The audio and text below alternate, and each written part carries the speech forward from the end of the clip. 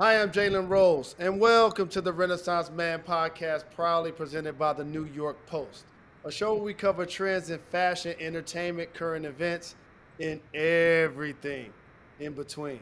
My next guest has made a household name for himself playing Ashtray, the enforcer, the muscle, his big brother's bodyguard on the hit HBO series Euphoria. And my guy is just getting started. Javon Walton is unstoppable. And you will see him on the big screen this summer alongside Sylvester Stallone. It's my honor to welcome Javon Walton to the show. Thank you for joining me. Yeah, man, I'm glad to be here. Thank you so much for inviting me. Absolutely, I appreciate the love. And as I mentioned, people know you from for Euphoria, but you started out way before that. You was an elite youth boxer at the age of four. What made you want to start boxing? And were you ever afraid of getting hit? Well, let me let me answer that last part. I was never afraid of getting hit. That's not something like because when you're boxing, you you can't be afraid of taking hits. It's part of the game at the end of the day. But um, what made me get into it is I saw it on TV from a very young age. I was about two years old, and I kept asking my dad if I could go to the gym. Like I want to go to the gym, and I just kept saying that. And then when I was four, finally took me to a gym. That's kind of where it all started. I fought, I fell in love with it ever since. So very mature, two years old, asking to go to the gym. Four years old, your father taking you to the gym. So who were some of your biggest boxing influences? My biggest boxing influences. Um, you know, I'm gonna have to say my dad to start off with. You know, he's influenced me a lot in the game and has really just like showed me, you know, the ropes and all that. And um, he's uh, coach at a very high level, so you know, he's he's helped me with that. And then um, yeah, pretty much just my dad. He's really so.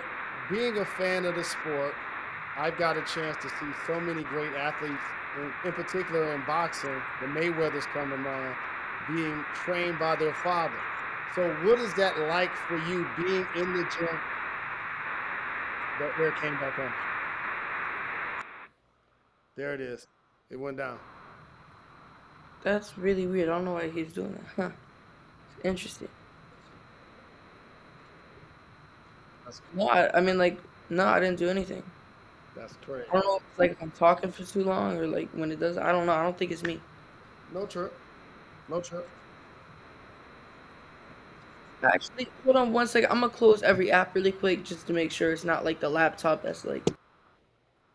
Boom! It just went off. Whatever you just hit, it went off. Oh, his mic. He he muted it too. He on mute.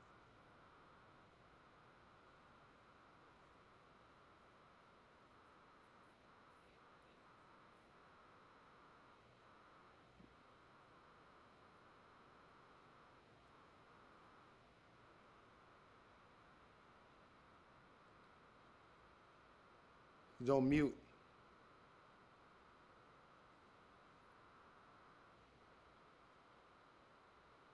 You're on mute. Yeah, I was just finishing um, finishing doing all that. All right. All right, here we go. Three. I'll go back to that. Three, two, one. So as you mentioned, interested in going to the gym at two. Your father took you to the gym at the age of four. So what type of influence has your father been on your fighting career so far?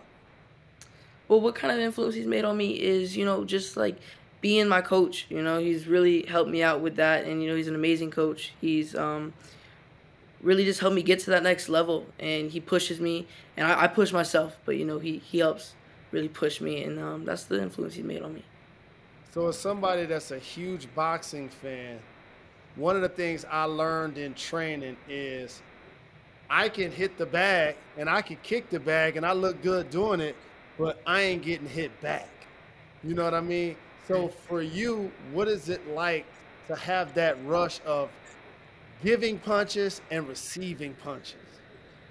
You know, you have to find a healthy balance in between both of those, you know. So when you're when you're really on your like head movement and all that, you got to be throwing while you're doing that. And that's the most effective way to use, you know, movement. And um boxing, you know, in boxing, it's really important to be like on your movement. That's really important so you can counter. You know, and knowing knowing the direction of where your opponent's going, all that. So give me an example of a day in the life of training. You wake up early one morning. What does a day in training look like on the schedule? Day of training for me. Well, um, I go to school now, so and I have to get up pretty early for that, which isn't too fun. but um, after I get home from school, I usually do whatever the workout is. So if it's like a Monday, I have cardio, and then Tuesday I'll have boxing. And you know, in between that, I'll also be lifting weights and stuff like that too. Oh, that's really serious. You really focus, and I appreciate that. And I've looked at your social media, and I appreciate the fact you're really close to your parents and as your and your siblings. As a child actor and athlete, I know what's how important it is to kind of have that support behind you. You know right. what I'm saying? When did you want to? When did you know that you wanted to pursue acting, and what was your family's reaction? you know, it's pretty crazy. It's not even, I was so young at the time, and it wasn't even something that really crossed my mind because I've been known in the boxing space for a little bit now. And I was about 11 years old when I went on the Steve Harvey show, and this casting director uh, named Jennifer Venditti, she saw me on the show and she was like, hey, like, do you want to try acting? I was like, yeah, like, I mean, I guess, like, I'm down, right? And then it was a call for Euphoria. I ended up trying out for Euphoria, and I got it immediately. So hold on. So you literally fell into euphoria, your first exposure and opportunity to wanting to act. Yeah, that was my very that first. Is crazy. So, so what was the audition process like for you once you realized that that was something that uh, you were going to get the role of Ashtray? It really wasn't that, you know, crazy of a process. I tried out one time, and no, but no other kid was like naming the drugs properly, and because they were looking for a bigger kid. You know, I was I was little at the time, so they were looking for somebody bigger, but nobody was like naming the drugs properly, and I was one of the few that could do it, and they loved my performance, so they're like, we need this guy, so.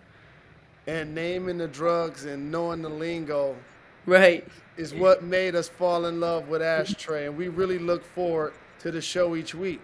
But the beauty of your character is that it's a lot of facial expressions because in theory you don't have a, a, that a lot of ton of lines based on everybody else, right? Right. So, but the best thing again is about your relationship with your brother Fez.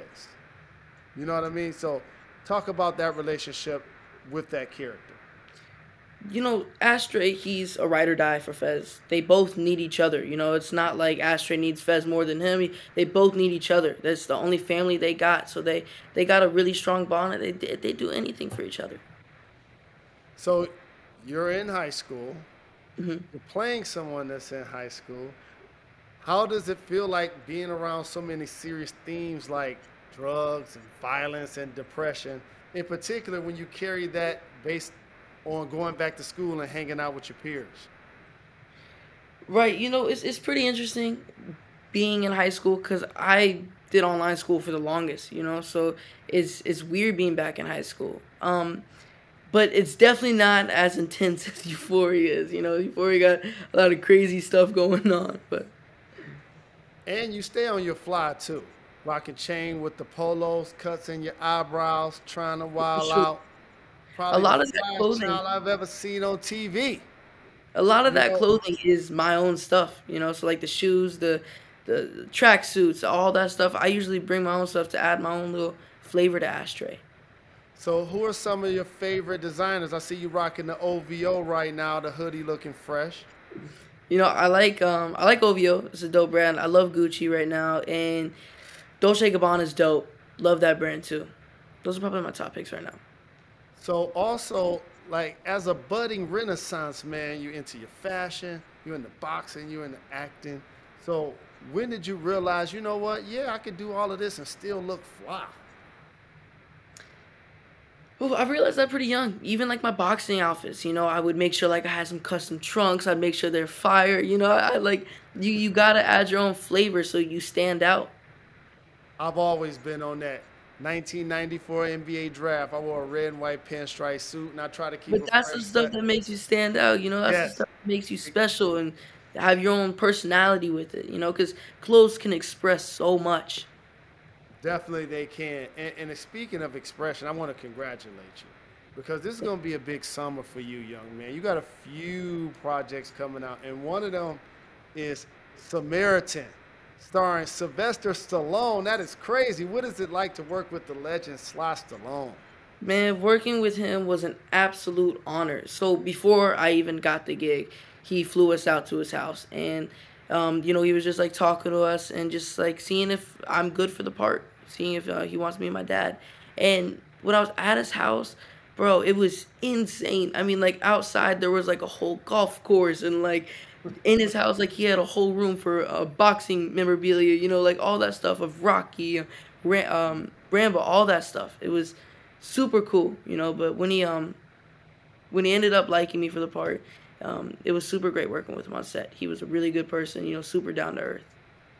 How inspired were you when you got a chance to be around this icon, go into his house, see how he was living, and how did you reevaluate your goals after that? man, I was I was pretty inspired, you know, and being able to work with somebody that knows boxing as much as him. I mean, the guy was telling me about these these boxers that would have like one eye that'd be fighting from like way back when, you know, it's it's crazy. He has so much history on boxing. He knows so much. Who are some of your favorite fighters to watch? My favorite fighters to watch. Um, ooh, I love Canelo right now. I love Manny Pacquiao. You know, um, Miguel Cotto, amazing fighter. Love watching him too. And man, um, Teofimo, he's entertaining, super entertaining. And shout out to my guy Freddie Roach, who trained Manny Pacquiao for a long time. For I got sure. a chance to work out at Wild Card. Gym. Really? Yeah, that's absolutely. Dope. The legend. When, matter of fact, that's when he was about to fight Floyd, and I know that happened a few years after his prime. But in theory, just seeing Floyd fighting, seeing him in the gym, I'm telling you, it's crazy. Like he's. Yeah, I wish I wish they fought, you know, each other in prime. I wish they fought. The fight was great, but you know, I wish it was in their prime. That would have been fire. I totally agree. Let me ask you something else about Samaritan.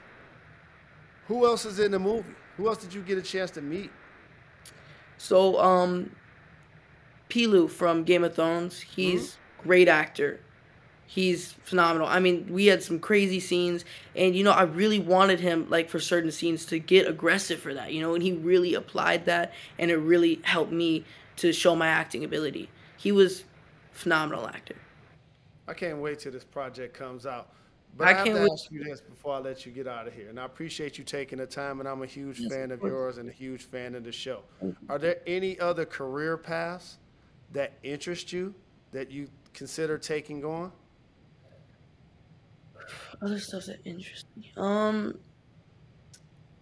you know, not really. I'm really happy with what I'm doing right now. I love boxing so much, and I love acting. They're both just like perfect for me, and it's crazy how acting even came about. You know, like it's clearly destined for me to do something in that space. You know, since I just I got it so randomly my first gig, and now I just been growing ever since in that in that world. That's incredible. Euphoria in its second season. As you hear this, be ending the second season. That so is congratulations on that. That is crazy. Ashtray is doing his thing. What's next in boxing? When can we see you in the square circle? How can we come support your you as a fighter? My next big thing will probably be nationals. You know, I, am trying to get that number one spot at nationals so I can make you know the uh, junior Olympic team and you know hopefully go to the next Olympics. That's that's the goal. So uh, nationals is the next step. Well, we rooting for you. We Thank rooting you. for you for sure and and I appreciate you taking the time. But before I let you get out of here, I have a rapid fire segment called "Gone in 60 Seconds." Cool. cool, cool down. Yeah. All right. Cool. Where do you see the character Ashtray in a few years? Ah, oh, man, I don't know. Still protecting his house. no doubt about it.